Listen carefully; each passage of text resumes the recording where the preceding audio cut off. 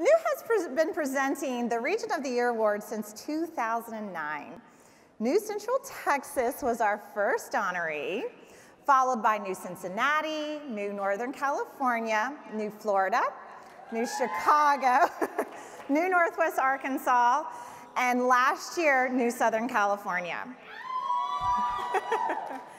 this year's recipient has not just had a great year, but a proud record of achievement throughout their entire history as a region. With them, it all starts with planning. They plan their events six to 12 months in advance. They establish their budgets two years out. Fabulous. and they have succession planning for their leadership as well.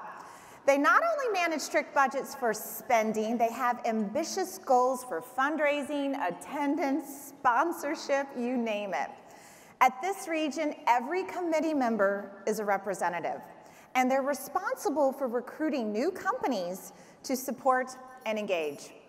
It starts each August, so they just had one, with a sponsorship open house that kicks off a four-month sponsorship drive for the following year. This region not only performed like a smart business unit, it delivered news mission like a rock star. Last year, they held university events that delivered and drew more than 900 students. 900. They have more social media followers than any region. Their highly regarded learning events have touched thousands, and they have sold out every one of their 17 learning events to date. This region has done so many things so well, they have earned the distinction of being the first new region to earn this award twice.